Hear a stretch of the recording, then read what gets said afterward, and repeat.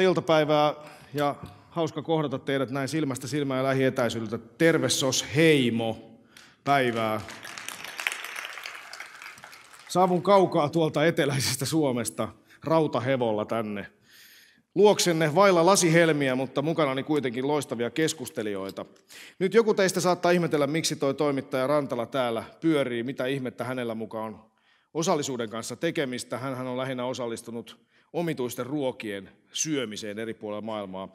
Tämäkin pitää paikkansa, mutta jotain osallisuudesta itsekin tiedän.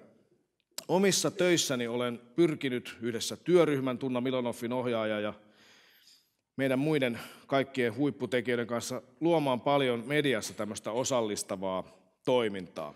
Ja yhtenä tai muutamana esimerkkinä mainittakoon Lihaton lokakuu-hanke, jossa 30 000 ihmistä päätti kokeilla, miltä tuntuisi olla kuukausi syömättä lihaa terveydellisistä, ympäristöllisistä ja eettisistä syistä. Sitten on ollut erilaisia, kuten esimerkiksi veripalvelun vertapakki-hanke, jossa pyrittiin aktivoimaan väkeä luovuttamaan verta. Ja sitten täälläkin pian nähdään siitä järjestöstä, verkostosta edustaja, eli Startup Refugees, jossa, joka edistää turvapaikanhakijoiden työllistymistä ja yrittäjyyttä. Ja tässä kohtaa voitaisiin kutsua ehkä tänne lauteille meidän asiantuntijajoukko. Mä kerron lyhyesti, keitä he ovat. Meillä on ensinnäkin täältä Hämeenlinnasta terveystalosta yleislääketieteen erikoislääkäri Mustafa Hussein, Startup Refugees-verkostosta projektipäällikkö Elisa Vepsäläinen, kaupunkiaktivistiksi ja kulttuurin tutkijaksi tässä esitteessä nimetty, mutta ehkä enemmänkin kohtaamistaiteilijana, varmaan kuullaan siitäkin kohta lisää. Tunnettu Lauri Jäntti, meillä on Hailuodon kunnanjohtaja Aki Heiskanen ja Espoon aikuissosiaalityön nuorten tiimissä aiemmin ollut johtava sosiaalityöntekijä Hanna Kostet, mutta nyt projektipäällikkönä ohjaamoiden psykososiaalisessa tuessa. Eiköhän toivoteta tämä meidän panelistit raikuvin aplodin tänne lauteille. Tervetuloa.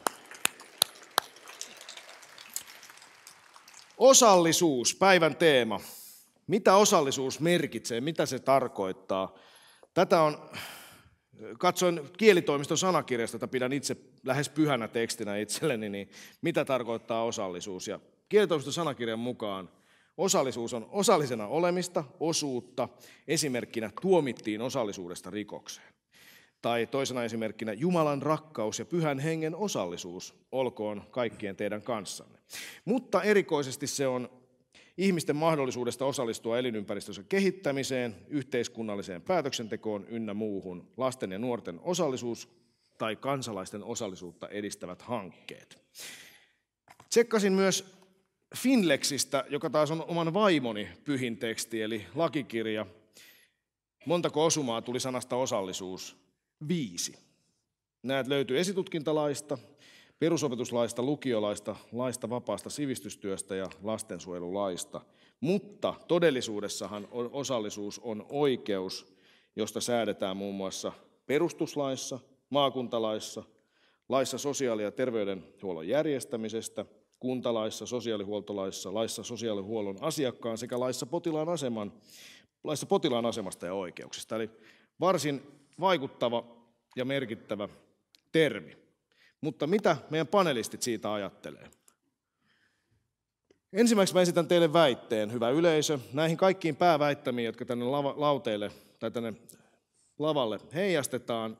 Pyydän teiltäkin kommenttia jossain vaiheessa. Meillähän on käytössä täällä viestiseinä, sen käyttö lienee kaikille aika selvää. Eli viestiseinä ja hashtagit tervesos ja osallisuus. Ja täältä näin mä seuraan ja koitan ottaa myös mahdollisesti täältä yleisöstä kysymyksiä tilanteen mukaan tuolta viestiseinältä, jota mä seurailen tässä. Mutta tässä kohtaa mä pyytäisin panelisteja esittelemään itsensä lyhyesti ja vähän samaan tapaan kuin itsekin tuossa tuli mainittu, että miten ihmeessä liityt osallisuuteen, miksi olet täällä. Ja sitten viimeiseksi, ottakaa kantaa tähän ensimmäiseen väittämään. Osallisuus on lavea ja höttöinen käsite. Elisa. Kiitos. mun nimi on Elisa Vepsäläinen, mä tunnen Startup Refugees-verkostosta, joka on, johon kuuluu 500 erilaista toimijaa. Meillä on tota, tänä päivänä mukana erikokoisia yrityksiä, julkisen sektorin tahoja, yhteisöjä, järjestöjä ja yksilöitä, jotka kaikki yhdessä miettii tai tekee jotain sen eteen, että Suomessa saataisiin enemmän työllistettyä turvapaikanhakijoita ja pakolaistaustaisia ihmisiä. Ja, tota, meidän näkökulmasta osallisuuteen, meidän näkökulma osallisuuteen liittyy siis tosi vahvasti siihen työhön ja yrittäjyyteen. Ja mä, niin kun, mä näen sillä lailla, että työ on hirveän tärkeässä niin avainasemassa sen suhteen, että kokeeksi ihminen itsensä osalliseksi tässä yhteiskunnassa täällä Suomessa. Me ollaan meidän toiminnan aikana, me ollaan oltu kaksi ja puoli vuotta olemassa, ja me ollaan sen meidän kahden ja puolen vuoden aikana välitetty 350 työpaikkaa vastamaahan muuttaneille ihmisille – tuettu 55 yritystiimiä ja tarjottu semmoinen 2300 erilaista mahdollisuutta, jolla ihminen on pystynyt kehittämään osaamistaan Suomessa. Ja nämä on kaikki semmoisia pieniä askelia, joilla sitä osallisuutta meidän näkökulmasta edistetään. Mutta ehkä näitä lukuja merkittävämpää on ollut se, että me tuodaan meidän toiminnassa ihmisiä yhteen ja se ihmisten yhteen tuleminen edistää sitä osallisuutta. Kysyt, kysy, väite on, että osallisuus on lavea ja höttöinen käsite. No, kyllä, kyllä se on ihan hyvä käsite, ei siinä mitään. Mun mielestä käsite siinä, missä muukin, sitä voidaan käyttää hyvin tai huonosti. Se voi olla kuvaava tai, tai vähemmän kuvaava, mutta, mutta ehkä maahanmuuttajien näkökulmasta siihen sisältyy kuitenkin niin kuin jonkinlainen arvolataus. Eli siihen sisältyy sellainen ajatus ehkä siitä, että kuitenkin joku ihmisryhmä osallistaa toista ihmisryhmää. Eli tämmöisen, tämmöisen sävyn mä siinä hiukan kuitenkin näen. Hyvä, kiitoksia. Elisa Vefsäläinen on tässä aplodit tässä kohtaa. Ja mä olen Mustafa, Mustafa Hussein. Olen 18 vuotta tässä Suomesta, Irakista kotoisin. Bagdadin yliopistosta olen valmistunut lääkäriksi ja erikoislääkärin tutkinto tässä Tampereella 2009. Mä toimin ohjaajalääkärinä vuodesta 2014 ja nyt tällä hetkellä valinnanvapauslääkäri terveystalossa ja käyn Lammin vastaanottokeskuksessa hoitamaan turvapaikanhakijoita ja myöskin teen työterveys työsykkeessä työterveyslääkärinä. Lavea ja höttöinen, no arvaakaa kauanko kesti, että mä ymmärsin, mitä sä tarkoitat. Mitä on höttöinen? Eikö löyty muuta sanoja? Onko pakko sitten käyttää näitä sanoja? No kuitenkin sitten nämä, on sitten ilmeisesti on sitten niin no, vague, niin laaja-alainen, niin monimutkainen, paljon sitten pieniä pussia sitten reunossa ja sama kuin sitten suolistossa. Tämmöinen sitten ilmeisesti on se lavea ja kyllä se on ihan totta mitä sitten osallisuus on, että se on sitten tämä, mitä me tehdään nyt tällä hetkellä, mitä väestö on tekemässä, mitä Riku, mitä me tehdään tällä hetkellä. Yritetään sitten nostaa vähän eteenpäin ja parantaa sitten tämä maailma pikkuhiljaa. Tässä Suomessa toki sitten asiat ihan kunnossa, ei mitään sitten väitä siitä. Ihan erittäin hyvä, mutta pitäisi vielä jatkaa eteenpäin. Se vertailukohta on Iraki ja Turkki, kun olen ollut töissä sitten siellä kaksi vuotta Turkissa ja sitten koko elämäni siellä Irakissa. Se tilanne on ihan erilainen tässä Suomessa. Mä olen ihan hyvässä pohjassa ja, ja sen takia pitäisi nostaa vielä eteenpäin ja ylöspäin. Se on tunne, toi osallisuus, se on toiminta, se voi käsittää sitä ja voi sitten koskea sitä tai pelkä ajattelu siitä. On tunne siitä, että ihminen on osallisena tässä sitten yhteiskuntaan ja sitten kehittää joko toiminta, joka vähän sitten menee eteenpäin ja eteenpäin. Ja sosiaaliaktiivisuus sitten vähentää riskiä sairastaa sitten esimerkiksi sydänsairauksia, masennuksia, diabetesta, lihavuutta ja kaikenlaisista sairauksia, mitä voisi tulla. Tämä on sitä mun näkökulmasta. Kiitos. Mustafa Hussein. Hailuodosta. Joo, Aki Heiskanen Hailuodosta kunnanjohtaja. Mä jotenkin ajattelen, että jos minua ajattelet, mitä kautta yhteisöllisyys on minussa, niin se lähtee oikeastaan mun historiasta. Mä olen alun perin koulutukseltani psykiatrinen sairaanhoitaja, tehnyt sitä työtä ja siellä työssä oikeastaan ensimmäisen kerran osallisuutta jollain tavalla käsitellyt. Sen jälkeen nyt päihdetyöhön ja siellä me kävin vielä niin kuin syvällisemmin miettimään sitä, että mitä se on ja miten niin kuin saadaan ne huonossa elämäntilassa tilanteessa olevat ihmiset jotenkin niin kuin aktiiviseksi omassa elämässään. Ja sitä kautta myöskin kävin pohtimaan, että mitä se aktiivisuus on sitten niin kuin esimies alainen suhteessa. Eli se yhteisöllisyys on minulla se taustateoria siellä, jota kautta se on sitten ehkä liittynyt tämmöiseen vuorovaikutukseen dialogisuuteen. Ja sitten kun hallintotiedettä myöhemmässä vaiheessa opiskelun, niin sitten on tullut verkostoteoriat. Eli minä hahmotan sitä sitä kautta. Ja tällä hetkellä, miten se niin kiinnittyy mun elämään, niin se oikeastaan se on aika laaja. Mennään jotenkin osallisuuden, jos tuohon mennään tuohon osallisuus on lavea höttöinen käsite, niin se on varmaan täytyisi määritellä, että mitä, mitä sillä niin haetaan.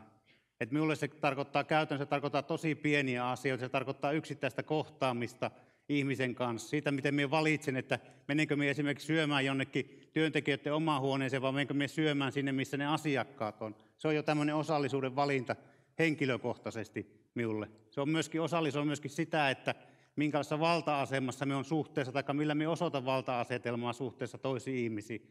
Onko mulla joku nimikyltti kaulassa tai onko mulla avaimet kaulassa, jotka jo sillä tavalla luo valta-asetelmaa suhteessa toiseen ihmiseen. Sitten, että onko meillä ovet lukossa, mitkä ovet meillä täytyy olla lukossa. Sekin on vallankäyttöä suhteessa toisiin. Ja se on tosi niin kuin pieniä asioita arjessa. Toisaalta se on sitten kunnanjohtajan työssä, se on sitä, että, että me aloitetaan kaavoittamaan Marjaniemen aluetta, joka on, joka on meille matkailusti merkittävä alue. Ja me aloitetaan se prosessi niin, että me kutsutaan ihmiset työpajoihin ilman mitään niin kuin taustaraamitusta. Lähdetään yhdessä ihmisten kanssa miettimään, että mitä se alueen käyttö voisi olla. Mitä kaikkea siellä pitäisi olla. Mitä kaikkia toimintoja siellä täytyisi olla. Eli se on sitten taas niin kuin ihan toinen ääripää siitä, että mietitään, onko, mitkä ovet on lukossa versus se, että mietitään kaavoitusta. Aki Heiskanen.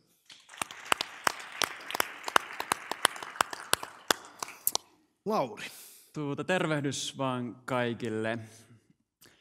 Tota, mun oma tausta on uskontotieteessä ja antropologiassa, mutta sitten mä oon vähän lipsahtanut erilaisiin yhteisötaiteellisiin kokeiluihin ja ehkä vähän kaupunkitutkimus tota, suuntiin. Ja ehkä mä otin tänne tämmöisen kyltin, mikä ehkä kuvaa sitä mun omaa tulokulmaa tähän osallisuuteen. Mä kehittelen kaiken näköisiä konsepteja ja ideoita, millä saadaan ihmiset osallistumaan ja kohtaamaan käytännössä – ja mielellään tuntemattomat, toisilleen tuntemattomat ihmiset. Ja esimerkiksi tämä mun liftauskonsepti on sellainen, että asetutaan kadulle, kadun varteen, minne tahansa julkiseen tilaan, pistetään peukalo pystyyn ja odotetaan, katsotaan mitä tapahtuu. Ja todennäköisesti jossain kohdassa ihminen pysähtyy ja siitä alkaa kohtaamisen tarina. Ja kannattaa muuten kokeilla. Ja sitten mä järjestän kaiken näköisiä muitakin. Itse asiassa tuossa, kun puhuttiin paljon noista turvapaikanhakijoista, niin on semmoinen Dance Up Refugee-projekti, missä tota, tanssin keinoin, vapaan tanssiimprovisaation keinoin luodaan yhteistä tilaa turvapaikanhakijoiden ja sit ihan suomalaisten välille. Ja sen yhteisen tilan ja yhteisen liikkeen kautta luodaan kokemuksellinen tila, mikä toimii sit lähtökohtana kaikille tutustumiselle ja muulle. Ja Osallisuus on lavea ja höttöinen käsite. Musta osallisuus on tosi hyvä käsite. Se on, kaikki ymmärtää, mitä se tarkoittaa. Se on henkilökohtainen se on perustason käsite. Se on myös hyvin kiistelty, mikä kertoo siitä, että, että se on toimiva. Kaikki tietää, mikä omasta kohdasta tarkoittaa osallisuutta ja milloin sitä on ja milloin ei.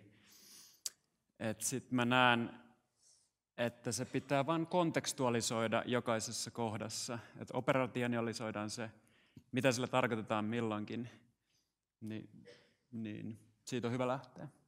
Lauri Jäntti, hyvä yleisö. Hanna. Joo, moi kaikki. Mä oon Hanna. Mä oon siis koulutukseltani sosiaalityöntekijä ja vielä alkuvuodesta olin siis kunnallisessa sosiaalitoimessa – ja nyt sitten tota, on muutaman kuukauden ollut ohjaamotyössä ja sielläkin nuorten aikuisten parissa tai heidän niin kuin, hyväkseen teen töitä. Jos kaikki ei tiedä, niin ohjaamot on sellaisia monialaisia alle kolmikymppisten ohjausneuvontapisteitä. Niitä on nyt joku melkein 50 jo Suomessa ja lisää on tulossa. Niin sinne kehitetään nyt mallia psykososiaaliselle tuelle, jota tehtäisiin niin kuin siellä ohjaamossa ihan itsessään tai sitten niin kuin verkostojen kanssa, jotta yksikään nuori, nuori aikuinen ei putoaisi. Koska meillähän on tällä hetkellä Suomessa kuitenkin joku semmoinen melkein 70 000 nuorta, jotka ei ole töissä tai koulutuksessa. Eli tämä on niin kuin se porukka, mitä mä ehkä tässä niin taustani puolesta mistä peilaan sitä, mitä tässä puhutaan ja miten mä näen sen osallisuuden tai ehkä jopa jossain määrin osattomuuden. Minusta se on myös niinku hieno termi, se on hyvä, että se on lavea, koska sehän tarkoittaa sitä, että kaikki mahtuisi mukaan. Höttönen se ehkä vähän on sillä lailla, että mistä osallinen raha, niin kuin työstä vai toimeentulosta, sosiaalisista suhteista ja kuka se niin kuin määrittelee, että kuka on tarpeeksi osallinen, että voiko ihminen itse määritellä vai mekö tässä nyt mietitään tai me kaikki yhdessä, että kuka on niin kuin tarpeeksi osallinen esimerkiksi. Voisin jatkaa tästä osallisuudesta, osattomuudesta. Minusta niin kuin yksinäisyys on jotenkin, se on sitten ehkä se kolikon toinen puoli ja se on asia, joka surettaa minua kovasti. Hanna Kostat, hyvä yleisö. Kiitos. Nyt on lämmittely- ja tutustumiskierros käyty. Hän nähtiin heti, että monenlaisia ajatuksia tuli mieleen osallisuudesta. Kiitos panelistit tosi monipuolisesti. Mun mielestä pääsitte käsittelemään tätä sinänsä kovin viralliselta kuulostavaa termiä. Mutta nyt on yleisöltä kysyttävä seuraavaksi. Ja kättä ylös. Kaikki, jotka olette samaa mieltä. Osallisuus on lavea höttönen käsite. Käsi pystyy nyt. Kiitos. Ei hirveän moni, mutta jokunen. No ne, jotka on sitä mieltä, että ei ole, niin käsi pystyy. Kyllä nyt se puoli tällä kertaa oli enemmistössä. Siirrytään eteenpäin. Koitetaan käsitellä tässä paneelissa nyt kolmen, kolmelta osa-alueelta tätä osallisuutta. Ensinnäkin osallisuuden edellytyksiä omassa elämässä, osallisuus vaikuttamisen prosesseissa ja sitten toisaalta osallisuus paikallisesti. Teillä on kaikilla omat erikoisosaamisalueenne ja mä koitan vähän ohjata näitä kysymyksiä siihen suuntaan. Ja tosiaan, jos viestiseinälle ilmestyy kiinnostavia asiaan liittyviä kysymyksiä, niin koitan ottaa niitäkin mukaan mahdollisuuksien mukaan. Meillä on aikaa varttia vaille asti, noin suurin piirtein, kymmentä vaille asti yhteensä. Lähdetään tähän ensimmäiseen osallisuuden edellytyksiin omassa elämässä. Ja Hanna, sinne kun sulle jäi puheenvuoro, niin tästä on hyvä lähteä liikkeelle. Otetaan ensimmäinen pääväittämä siihen liittyen. Ammattilaiset suojelee asiakkaat hiljaiseksi. Mitä Joo. mieltä olet, Hanna, tästä? Pitääkö paikkansa? Saattaa pitää. Ajattelisin kuitenkin, että pääsääntöisesti ei. Jos mä mietin niin nyt sieltä SOS-puolen näkökulmasta, totta kai terveyspuolella on varmasti sama juttu, mutta että mehän on niin lähetty tähän ammattiin varmasti siksi, että me halutaan niin auttaa ihmisiä tukea heitä vaikeissa elämäntilanteissa, että he pääsevät sen kriisin, kuilun, vaikean tilanteen yli ja pärjäävät jälleen omillaan. Niin siinä mielessä, jos ajattelee, että suojeltaisiin asiakkaat hiljaisiksi, niin ei se homma kyllä etenisi, vaan siellä sitten pyörittäisi vuosikaudet asiakkuudessa, mikä ei nyt kuitenkaan ole se tavoitetila suinkaan sosiaalityössä. Että sanon, että saattaa tapahtua. Miksi saattaa? Ihminenhän rutinoituu helposti varmaan hommi. Jos on liian kiire, liikaa muutoksia, sehän on semmoinen suojelumekanismi myös. Mutta lähtökohtaisesti ajattelisin, että ei toivottavasti sosiaalityössä näin tapahdu, koska nimenomaan haluamme auttaa ihmisiä eteenpäin. No olisin yleisöltä. tosi kiinnostunut, jos saa kysyä yleisöltä vaikka käsiäänestyksellä. Niin, niin, tässä kohtaa voisi olla ihan hyvä itse asiassa kysyä, kun sä tässä jo pikkusen Et... menit sinne, että onko näin? Ammattilaiset suojelee asiakkaat hiljaiseksi. Ketkä on samaa mieltä? Kättä pystyy. Joo, kyllä siellä haja, haja, hajanaisesti tätä mieltä ollaan. Ja joku ehkä puolella kädellä. Entäs sitten sitä mieltä, että ei näin ole? Kyllä siinä enemmistö on sitä mieltä, että ei ole, ammattilaiset eivät tähän sorru.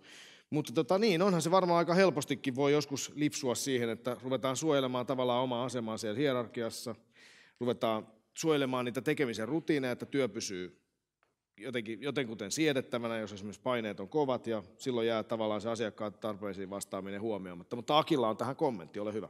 Niin, varmaan se, että me on jotenkin niin kuin paljon havainnut sellaista niin kuin omana kokemuksena ja sitten kun kattelun maailmaa, että että organisaatiot toimii aika usein organisaatiolähtöisesti ja mietitään, että kuinka saadaan se oma työ niin organisaation näkökannalta toimimaan helposti ja sitten se asiakas on usein niin esteenä, esteenä siinä hommassa. Ja kun me, me ajattelen taas niin, että me ollaan siellä niitä asiakkaita varten, että meidän pitää tehdä kaikki sen asiakkaan asioiden edistämiseksi.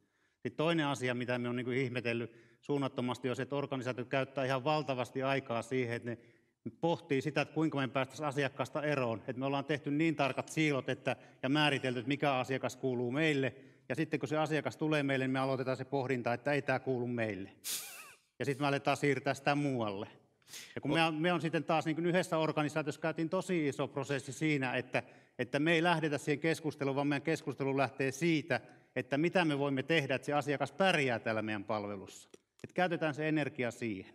Että siitä näkökannasta niin kyllä tehdään näin. Sitten toinen ehkä semmoinen konkreettinen esimerkki, että me te, meillä on tulossa uusi kunnantalo ja me mietittiin sitä tilaa, meille tulee avotoimisto ja siellä niin kuin mun ajatus oli, että me kaikki asiakkaita kohdellaan samalla tavalla, että ne tulee samasta ovesta ja otetaan vastaan ja, ja, ja sitten hoidetaan hommat siinä.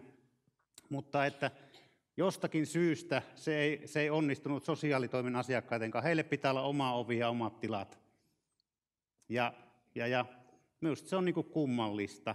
Mutta siinähän tulee tämmöinen, perusteltiin sitten tällaisella niin kuin tietosuojalla ja asiakkaatkin ehkä haluavat, että ne on siellä ja työntekijät erityisesti haluavat, että he on siellä niin kuin omassa lokerossaan hoitamassa niitä asiakkaita. Ja sitten me käytiin sitten paljon hyvää keskustelua siitä asiasta ja viime, viime kädessä se menee niin kuin luottamushenkilöpäätöksentekoon ja luottamushenkilöt otti kannan, että sosiaalitoimille tulee omat tilansa sinne. Ja sitten, no ei, te, yksi perustelu siinä oli kyllä se, että, että jos, jos se sosiaalitoimi sieltä meiltä lähtee pois, niin me saadaan sitten irrotettua se tila siitä erikseen ja voidaan vuokrata se ulkopuolelle, mutta tämmöisessä tilanteessa, että me kuitenkaan ei, ei pystytä ehkä sitten niin kuin ajattelemaan kaikkia ihmisinä samanlaisina, samanarvoisina, vaan meidän täytyy niin kuin laittaa niitä johonkin lokeroon tai erotella. Kiinnostava esimerkki Hailuodosta. Hanna, sä haluaisit kommentoida tähän jotain? Joo, mä olisin kysynyt tuosta siis, Minusta se on hieno ajatus, taikka siis tietenkin, että ihmiset on yhdenvertaisia ja kohdellaan näin, mutta että onhan niitä semmoisia, niin sanotaanko salaisia asioita. Olisi teillä niin kuin lääkärit ja terkkarit myös niin kuin ajateltu siihen samaan tilaan? Ei, Aivan. ei toimi, mm. kyllä. Joo, mutta että kun on on kuitenkin erilliset tilat, missä voidaan mennä ovien niin kuin taakse, siirtyä niin, siitä. Niin, niin. niin, että olisi ollut niin kuin ne tapaamishuoneet. On, on, siis kyllähän tietenkin pitää Joo. taata semmoinen, ja niin tämmöinen tietosuoja pitää niin kuin aina turvata, sehän on itsestäänselvyys. Oliko se niin noloa niille asiakkaille sitten, että ne olisi halunnut tulla? Ei sitä kukaan siinä kohtaa asiakkaat, siis työntekijät olettaa, okay asiakkaiden puolesta, että asiakkaat haluaa, ja työntekijät itse on niin vahvasti sitä mieltä, että, että me halutaan hoitaa se näin. Tässä kohtaa, kun tuli puheeksi tämä, tämä tota, lääkärin, pakko kysyä Mustafa sinulta tätä, tämmöistä asiaa, että väitetään, että osallisuutta estää se, että ammattilaiset kohtaa nämä asiakkaat tämmöisen ammattiroolin takaa, vetäytyy ikään kuin suojaan sen valkoisen takin tai jonkun ammattilaisen varustuksen niin. päälle. Oletko samaa mieltä?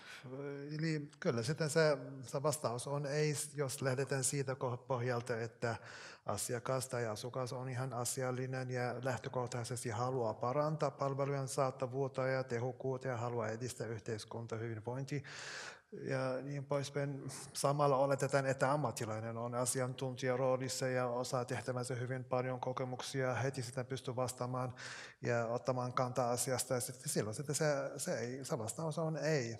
Esimerkiksi konkreettisesti, jos asiakas sitten tuolla vanhusasiakas oli odotustilassa ja sitten matala tuoli tuli mun vastaanotolle ja sanoi, mä ehdotan, jos laitetaan vähän pikkusen korkeampi tuoli, mulla on nivelrykko, mä en pääse sitten tästä matalasta tuolesta ylös. Tuo on rakentava sitten ehdotus ehdottomasti.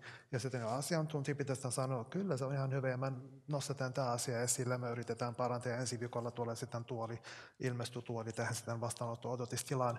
Mutta toisaalta sitten lääkäri, mä olin ihan kiireinen ei, ei, ei kuulu mulle tämä asia, ota yhteyttä ylilääkäri, ota yhteyttä kansliaan, tämä sitten, ja, ja yritä vain suojella itsensä ja laita muuria ja, ja käytän kaikki byrokraatia sitten eteen. Tämä se, silloin sitten se ei pätä. Toisaalta, jos asiakas esimerkiksi, mä olen sitten katsonut sitten netin kautta, asiakas väittää, että hänellä tarvitaan tyroksiinilääkytyksiä lahjoittamista varten, hänellä on esimerkiksi ylipaino ja katso sitten vauva.fi sitten kautta tyroksiinilääkä auttaa. No kyllä mä haluan tyroksiinia nimenomaan sitten tästä. Se on, se on epäasiallista, sitten minä en voi sitten määrätä sinulle lääke, joka, joka sitten vahinkoittaa sun terveyttä. Ja sitten tässä tapauksessa sitten se on sitten, se, on, se, se, se, ei, se ei toimi se, sillä pohjalla. Hyvä tuoda esille tämä vauva.fi kyllä varmasti pakottaa aika monetkin asiantuntijat vetäytymään sinne roolinsa taakse. Ja hyvä niin. Lauri, oletko kohdannut omassa, omissa projekteissa tämmöistä tavallaan roolin taakse vetäytymistä? Mm, Tota, ehkä enemmän toisinpäin, koska et jos ne usein paikantuu kaupunkitiloihin, niin ihmiset ei siellä ole ammattirooleissansa. Mulla oli joku ajatus, mutta mä katkasin sen ihan ei se. Mitään. Sulle, sulle tulee kohta dedikoitua tavaraa. Mennään eteenpäin, mennään tuohon vaikuttamisen prosesseihin, koska aikaa on vähän, mutta hyvin paljon mielenkiintoisia väittämiä. Ja nyt seuraavaksi mä halusin Elisa sut ääneen aiheesta tämä. Emme oikeasti halua antaa valtaa heikossa asemassa oleville. Ja minun tulkintani mukaan tämä väite tarkoittaa sitä, että haluamme pitää asiat niin kuin ne ovat ja säilyttää itsellämme asiantuntijan ja tässä yhteiskunnassa hyvin pärjäävän hegemonian. Ja se hegemonia säilyy parhaiten sillä, että emme anna osallisuutta oikeasti pois. Mitä tähän sanoo yleisö tässä kohtaa? Oletteko samaa mieltä? Kuka on sitä mieltä, että emme oikeasti halua antaa valtaa heikossa asemassa oleville kädet pystyy? Aika moni. Entä sitä mieltä, että ei, näin ei ole, kädet pystyy? Huomattavasti harvempi. Mitä sä, Elisa, tähän sanot?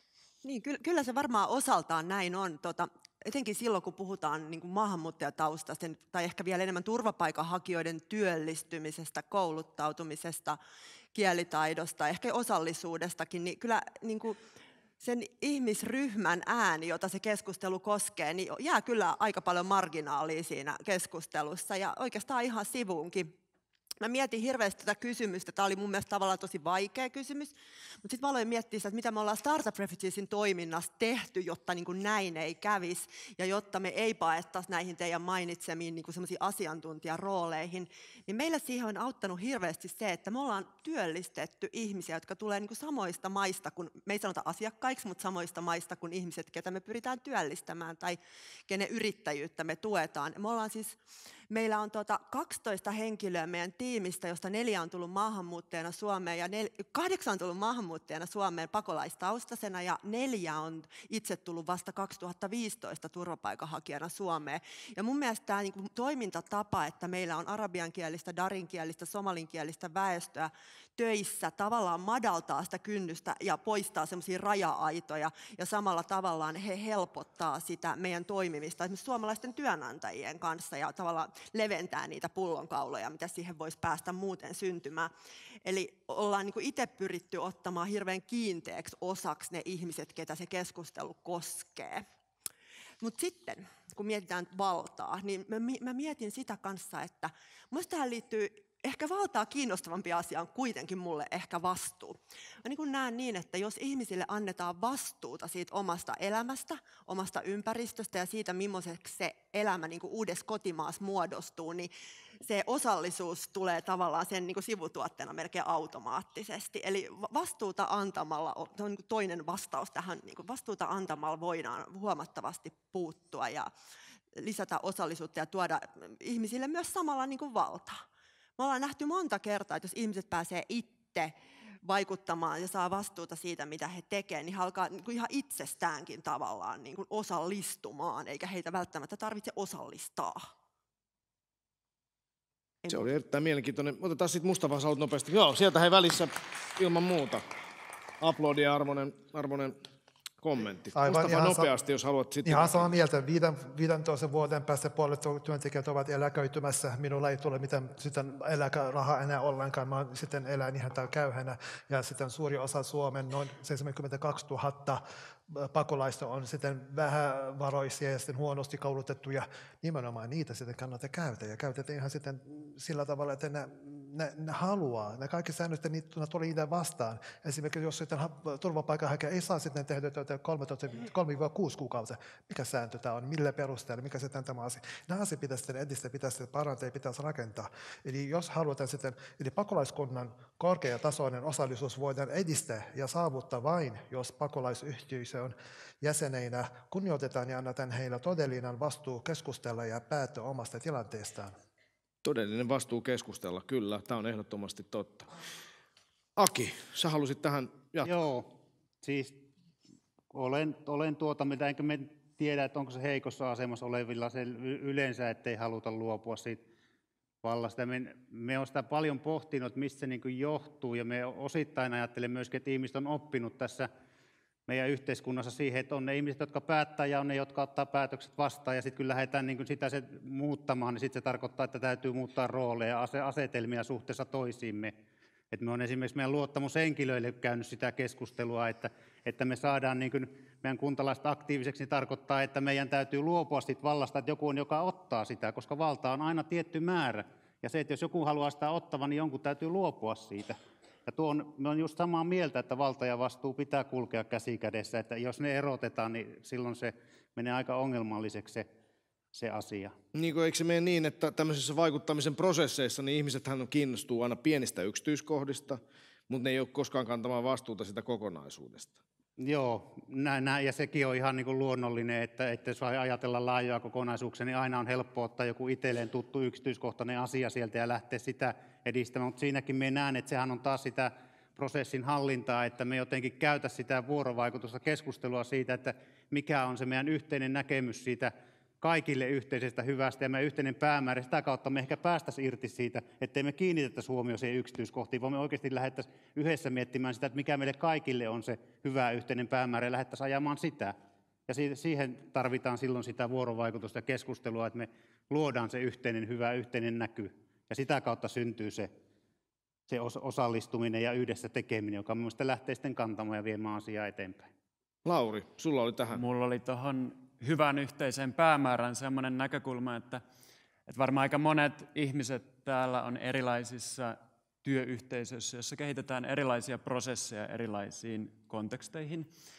Ja sitten usein ehkä just se, että on joku hyvä yhteinen päämäärä, mikä jotenkin tiedetään sitten jo etukäteen, niin se lukitsee tavallaan ehkä sitä, että ei voi antaa sitä valtaa toisille, koska haluaa mennä kohti sitä, minne haluaa mennä, ja varsinkin jos on itse kehittänyt sen prosessin, niin siitä haluaa pitää kynsin ja hampain kiinni, koska se on mun leikki, mä keksin sen.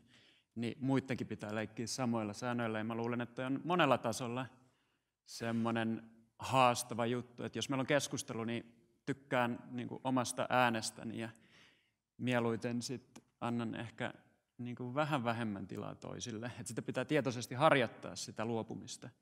Mutta ei ollut siis mikään kauhea kritiikki nyt tälle ei tietenkään, päämäärälle. Ei, ei tietenkään nyt joudut itsekin luopumaan äänestä, koska kyllä, Hanna kyllä. takanasi viittaa. Joo, mutta mä puhun lyhyesti, niin mä en paljon vielä. Olisin vaan kysynyt, että onkohan toi niinku sitä samaa tavallaan kuin, että pysytellään siiloissa, niin ei haluta, että sitten se niinku menee pienessä mittakaavassa just noin, että minä en, koska tämän kehitin itse, ja sitten kun mennään organisaatioon tai työyhteisöön, niin sitten pysytään niissä siiloissa eikä tehdä sen naapurin kanssa yhteistyötä, vaikkapa nyt so ja te. Toki yhteistyötä on, mutta eihän se ehkä nyt ihan niin saumatonta ole vielä kuin se voisi olla. Ja se naapuri on vieras joka tapauksessa. Ja vieraaseen tutustuminen on vähän pelottavaa ja jännää kaikissa, kaikissa mahdollisilla, kaikilla tasoilla. Niin se nyt vaan on se kohtaaminen ja niin, toisaalta voisi kuvitella, Aki, että siellä Hailuodossa, kun te olette saarella, niin teillä on niin kuin helpompi tavallaan operoida näiden asioiden kanssa, vai tekeekö se sitten sitä tuplasti vaikeampaa? No en, eikä se, jos ehkä tekee helpompaa, minä kertoa sellaisen esimerkin, että mä olin kaksi viikkoa asunut Hailuodossa ja me menin meidän paikalliselle huoltoasemalle ja renkaita vaihtaa istumaan. Silloin oli miesporukka istumassa pöydässä, viisi henkeä. Me sanoi, että terve, on Aki. Istui heidän kanssa siihen keskustelemaan jonkun aikaa oltiin keskusteltu, niin yksi mies sanoi, että, että siinä teidän kohdalla on sitten liukasta nyt, kun tulee talvi, että kun se höyry tulee siihen, siihen, siihen tien päälle, asfaltitien päälle, niin ajaa tosi varovasti. Eli niin jos tähän osallisuusteemaan liittyen, niin jokainen ihminen niistä niin tiesi, kuka minä olen ja missä minä asun. Ja he niin kuin, me, me oli niin liittynyt osaksi sitä yhteisöä ilman, että me olin niin millään tavalla sitä tuonut itse esille. Ja niin. he sen niin kuin, ihan silleen niin kuin suoraan sanoi, että kyllä he tietää sen, missä asut ja kuka siellä olet. niin, mutta suomalaisesti esitetään, ettei ole koskaan niin. tämmöistä ajatella. Ja he, he oli kauhean... Niin Eikä ainakaan ystä... moikata. Niin, ja he oli kauhean ystävällisesti, piti huolta siitä, että ajan nyt varovasti, että on mettässä sitä, siinä kun, mutkassa, kun ajelit kotia päin. Toi on hienoa. Tuota... Haluan vielä sanoa tuohon yhden tuohon valta-asian, siis sellaisen, että mikä me on ajatellut, että mikä sitä niin kuin estää sitä antamasta sinne, niin on on pelko. Ja pelko nimenomaan siitä, että kun me annetaan se valta toiselle, niin meillähän katoaa myöskin hallinta samalla. Ja silloin kun meillä ei ole hallintaa, niin me ollaan epävarmuuden tilassa ja hyvin harvasta niin kestää. Mutta kyllä me niin kannustan siihen, että otatte sen askeleen ja astutte siihen epävarmuuden tilaan, koska me en ole ainakaan yhtään kertaa vielä tähän mennessä elämässäni kokenut, että se luopuminen siitä ja antaminen jollekin porukalle, niin se olisi tuottanut huonoa, vaan se on tuottanut paljon enemmän, mitä me on osannut kuvitella. Erittäin kiinni. Ehkä aplodien paikka se on. Mutta tästä pelosta mä haluaisin kysyä Hanna. Täällä on mulla tämmöinen väittämä täällä mun muistiinpanoissa, että meillä on osaamista osallisuuden lisäämiseen, mutta päättäjiltä puuttuu tahto. Oletko samaa mieltä, Hanna? Puuttuuko tahto vai tarkoittaako tuo itse asiassa sitä, että päättäjillä on pelko?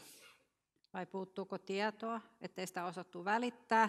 Mutta tässä mä mietiskelin, tota, ensin minulla oli niinku ihan selkeä vastaus tähän asiaan, kun mä lähdin niinku miettimään ehkä taas sieltä sosiaalityön näkökulmasta. Mutta sitten mä niinku, että osallisuuden lisääminen missä, että onko niinku, puhutaanko nyt vaikka työelämästä, toimeentulosta vai sosiaalisista suhteista. Että voi olla, että kaikki ihmiset ehkä eivät pääse ainakaan yhtä aikaa töihin, ja sitten on myös totta kai rajoitteita, ei pystykään, mutta mä ajattelisin, että niin merkityksellisiä ihmissuhteita voisi kaikilla olla. Sehän on niin ilmasta, ja nyt on puhuttu, me on tässä puhuttu kohtaamisesta ja muusta, mutta kaikilla ei ole. Ja sitä mä niin kuin ihmettelen, se ei sinänsä kuitenkaan ehkä ihan mieletöntä rakettitiedettä ole, että niitä voitaisiin edesauttaa, pitäisi olla kaikenlaisia siis tapahtumia, niitä kohtaamispaikkoja ja tällä, mutta niitä ei ole tarpeeksi. On, tapahtuu paljon hyviä juttuja, mutta niitä voisi olla enemmänkin. Et eikö, onko se se, että se tahto puuttuu vai eikö osata vaikutusta ja vaikuttavuuden, varsinkin se mittaaminen on vaikeaa, niin eikö niitä osata niin kuin jotenkin välittää päättäjille, että tällä kun tehdään, että pannaan vaikka tämmöinen joku asukastalo pystyyn, niin siellä alkaa tapahtua, tai jos annetaan tämmöistä vaikka sosiaalitoimen asiakkaalle lähityötä, vaikka 15 käyntikertaa tai jotain, niin siitä tapahtuu jotain hyvää, josta seuraa sitten taas jotain. Mä luulen, että e, no tavallaan jos ei halua valtaa antaa, niin sitten ei ole varmaan sitä tahtoakaan, mutta mä mietin, että se voi olla kyllä myös tietoa ja siinä verran niin kuin omaankin piikkiin, niin että niitä vaikutuksia erilaisten toimenpiteiden vaikutuksia nimenomaan sieltä sosiaalipuolelta, pitäisi, meidän pitäisi varmasti pystyä paremmin tuomaan niitä esille. Erittäin hyvä pointti. Mä luulen, että tässä on teille monelle täksi illaksi paljon keskusteltavaa siinä, että miten, miten sitä voisi parantaa. Siinäkin voi piillä todella, todella yksi, yksi tähän asiaan liittyvä voimakaskin tekijä. Hei, viesti seinältä pakko poimia Ensin Saara Hyrkkö Twitterin kautta toteaa, että onko yksi osallisuuden este se, että todellisuudessa valtaa ei haluta antaa heikommassa asemassa oleville. Aina löytyy vastustajia, kun esim. yritetään parantaa nuorten vaikutusmahiksia päätöksenteossa. Ehkä ylipäätään vallasta luopuminen vaikeaa. Ja täällä viestiseinän kautta Antero Eerola myös kommentoi, että oma kokemukseni on se, että usein poliittinen eliitti ja johtavat virkamiehet pitävät kansalaisten osallistumista harmina ja hidasteena. Kansan mielipiteitä kysytään, jotta päätöksille saadaan hyväksyttävyyden kaapu. Osallisuus ei saa johtaa päätösten kumoamiseen, samoin kuin kansanäänestyksiä pidetään vain, kun tulos on etukäteen selvä. Siinä mielenkiintoisia kommentteja tähän aiheeseen. Mennään eteenpäin. Kello tikittää osallisuus paikallisesti. Tässä on jo paikallisia esimerkkejä käyty läpi muutamiakin, mutta Lauri, sulla olisi etenkin sieltä kaupunkipuolelta tosi mielenkiintoinen esimerkki. Ja nyt pistetään väite kehiin ja valmistautukaa yleisö. Aktivistit haluavat tehdä asiat heti eikä hallinnollisen vuoden kierron mukaan. Oletteko samaa mieltä? Käsi pystyy, jos olette. Näin on. No, ketkä ovat eri mieltä? No siihen on vaikea olla eri mieltä tietenkin, mutta ehkä siinä voi olla eri mieltä, että onko tämmöinen mahdollista asiantuntijan tai viranomaisen roolista käsin. Mitä sä Lauri tähän kommentoit? No mä luulen, että kaikki haluaa tehdä asiat heti eikä joskus. Kukapa nyt ei haluaisi, että sitten se kysymys vaan on siitä, että miten asiat on, onko se mahdollista. Ja ehkä toi, toi ei ole niin kuin mun mielestä ehkä niin kuin erityisen hedelmällistä nyt tota pohtia sen enempää, vaan miettiä sitä, että miten se aktivistien tota, ideat ja aloitteet voidaan saada mukaan siihen hallinnolliseen prosessiin, miten kaupungit ja erilaiset muut yhteistyötahot voi toimia alustoina ja yhteistyökumppanissa, miten kaupungit voi tarjoutua niin, että sitä on helppo lähestyä kenties just silloin, kun se idea tulee. Niin, toi on hyvä kysymys, koska mun tulee mieleen ehkä varmaan kaikkein tämmöinen simppelein esimerkki. Kun se on simppeli mies, niin simppelit esimerkit kelpaa helposti, niin tota, tulee mieleen vaikka ravintolapäivä. Niin, tämmöinen itseohjautuva ja täysin niin kuin itsenäisesti laajentuva ja sitten oikeastaan hirveästi edes käsittääkseni kontrolloitu alkuidean jälkeen. Kukin on saanut osallistua, jos haluaa. Täysin vastoin kaikkia sääntöjä ja hallinnollista kontrollia. Ja jos se olisi haluttu torpata, niin eikö se olisi ollut mahdollista torpata sillä tavalla, että olisi ruvettu ihan valtavasti iskemään. Poliisit on sälytetty puistoista ihmiset helkkariin sieltä levittämästä tauteja ja tekemästä tämmöistä rikollista ravintolan pitoa. Että sehän on saatu heti blokattua, mutta näin ei tehty.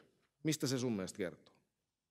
No mä luulen, että, tai mä en tiedä mikä on syy ja seuraus, että Helsingistä kun se oli lähtöisin, niin siellä on mun mielestä näkynyt tosi selkeästi viimeisen ehkä 15 tai 20 vuoden aikana semmoinen semmoinen kehitys, missä kaupunki ja ehkä kaupunkilaiset on havahtunut, että tehdään yhdessä ja annetaan sitä tilaa. Et mun käsittääkseni ravintolapäivässä nimenomaan neuvoteltiin etukäteen, että se on kaupunkin puolesta mahdollista ja siinä on tiettyjä fasiliteetteja, mitä voi hyödyntää. Niin, siitä on tullut aika paljon mainetta maailmalla ja kyllä, käsittääkseni aika paljon iloisia ihmisiäkin lisää. Mutta että toi vuoden kierto, onko sulla itsellä sellaisia kokemuksia, että sä oot joutunut viranomaisten kanssa kahnauksiin näiden sun projektien myötä? No, enpä ole, paitsi Pietarissa. Niin, siellä on vähän erilainen tota, hallinto. Siellä ei saa ihan joka paikassa tanssia. Mä luulen, että siellä ei pidettäisi terve SOS-kokouksiakaan ainakaan kyllä, tällä kyllä. tavalla.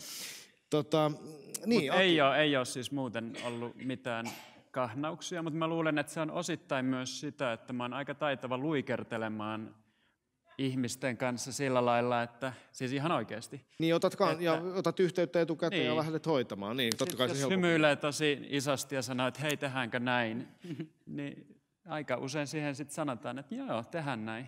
Sulla on aika isot kädetkin, niin ne menee laajalle. Mahtavaa. Aki, sulla oli tähän kommenttia. Siis voisi vois kuvitella, että teillä, saisiko Hailuodossa pitää ravintolapäivä vai hälytettäisikö elintarvikeviranomaiset paikalla? Sais, sais pitää. Mutta me ehkä niin, ajattelin tuota asiaa niin, että, että ehkä kunnallishallintoa leimaa se semmoinen, että se on, on säädeltyä ja kaikesta pystyy valittamaan, niin sitten se, se väistämättä on monessa paikassa mennyt semmoisiin virheiden, virheiden välttelyyn sit se, se homma, että et pidetään huolta, että kaikki menee vaan oikein ja lakien ja pykälien mukaan, että siitä tulee se päätehtävä ja sitten se vähän se kaikki muu katoaa. Ja jossakin kohtaa, kun opiskelin kunnallispolitiikkaa, niin siinä kohtaa ihmettelin aina, että miksi kunnat toimii niin kuin ne toimii, mutta nyt kun itse on sillä kunnassa, niin niin minun on helppo ymmärtää, että miksi virkamiehet toimii niin kuin toimia. Minä koitan itse taistella sitä kyynistymistä vastaan kaikin keinoin, että me ei lähde siihen mukaan, koska me huomasin jo ajattelevani niin, että, että kaiken pitää mennä oikein, kun tietenkin lakia pitää noudattaa, mutta kun mä ajattelen niin, että laki ei ole estävä, vaan laki on salliva, mutta jos halutaan tulkita se estävä, niin me pystytään kaikki estämään sillä. Ja sitten me myöskin ajattelen niin, ehkä se johtuu mun mielen laadusta, että me jotenkin ajattelen asioista positiivisesti ja sillä tavalla, että asiat menee hyvin, ja myöskin sen. Ja sitten niin me hyvin vähän näen tässä kunnallispuolellakin sellaisia asioita, että mitä tekemällä ihmisenkin olisi vaarassa. Ja se on aika hyvä kriteeri, että ei ole henki vaarassa, niin voidaan kokeilla. Ja sitten mä myöskin ajattelen niin, että jos se eka kerralla me ihan niin kuin nappiin, niin korjataan ja tehdään seuraavalla kerralla parempia, kun me tarpeeksi monta kertaa korjataan, niin jossain kohdassa menee sitten nappiin se homma.